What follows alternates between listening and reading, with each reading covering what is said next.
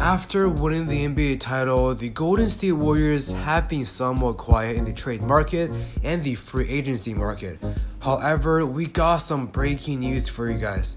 According to Shams, quote, Forward JaMychal Green is finalizing a contract buyout with the Oklahoma City Thunder and plans to sign with the Golden State Warriors after he clears waivers. After losing defensive specialist Gary Payton II, key contributor off the bench on Otto Porter Jr., and versatile big man Nemanja Bjelica, the Golden State Warriors are adding more strength to their rotation behind their starters. In today's video, we'll break down the signing along with why the Golden State Warriors are officially the smartest franchise in the NBA. And with that being said, let's roll the intro. Hi. I'm on my match in the dark. I'm on my match in the dark. I'm on my match in the dark. I'm on my match in the dark. Yo, what's up guys, Jason's here back with another video. If it's the first time watching, I love basketball uncovering news and rumors in the NBA. If you find my content interesting, don't forget to leave a like and subscribe because you do not want to miss any of my future upload.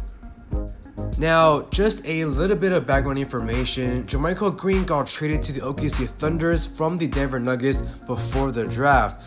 The Nuggets made this move to save money because Green has a contract worth $8.2 million, but it's obvious that he doesn't worth that much, and it makes sense that the Nuggets gave up on him. Looking at the Thunders, they are clearly rebuilding with young players at every position, which is obviously a big reason why they are finalizing a contract buyout with Green. Now, I have this theory where the Golden State Warriors have been in touch with JaMychal Green for a while, and both parties are just waiting for the Thunders to make that buyout decision. And speaking of JaMychal Green, I really think that he is the perfect fit for the Golden State Warriors. Last year with the Nuggets, Green was averaging 16.2 minutes per game, scoring 6.2 points while grabbing 4.2 rebounds. It is certainly true that he was a key rotational player for the Nuggets, but it is a fact that he had a down season last year. However, looking at his career numbers, Green averages about 8 points and 6 rebounds per game, while shooting about 40% behind the arc. Now, JaMychal Green is never really a starter, but his presence from the bench is what makes him valuable. As mentioned previously, the Toronto Raptors signed Otto Porter Jr. and Nemanja Bjelica is going back to Europe. Draymond Green now is the only power forward on the squad, but as we all know, Draymond has no threat on offense when it comes to shooting. However, looking at JaMychal Green, not only is he addressing one of the biggest needs for the Warriors, but he also providing a lot of value strategically. Looking at the current free agency market and the Warriors' capital situation, JaMychal Green is likely the best option for Golden State. Another aspect of this signing is that Green has a dog in him. If you've been watching him on the Nuggets or the Grizzlies, he's the kind of player that will do whatever it takes to protect his teammates and help the team to win. Now, JaMychal Green and the Golden State Warriors are only doing a veteran minimum contract around $2.63 million. However, since Golden State are so over the cap, the Warriors have to pay around $10.93 million in terms of luxury tax, meaning this one acquisition costed around $13 million for Golden State. So for us Warriors fan, we can't be complaining about the fact that we're not adding additional personnel to the team. It is true that the Warriors owners are willing to pay money, but there is always a limitation when it comes to that. This offseason, the Warriors lost three key contributors in Gary Payton II, Otto Porter Jr., and Nemanja Bjelica. I don't know if you guys noticed, but the Warriors have already secretly filled in all three departures with new personnel. In terms of Nemanja Bjelica, the Warriors just signed JaMychal Green. In terms of Gary Payton II, the Warriors signed Donte DiVincenzo a few weeks ago to a two-year contract. And in terms of Otto Porter Jr., the Warriors picked up Patrick Baldwin Jr., who has a similar physical frame in this year's draft. One thing that we have to pay attention here is the Warriors are building a positive cycle.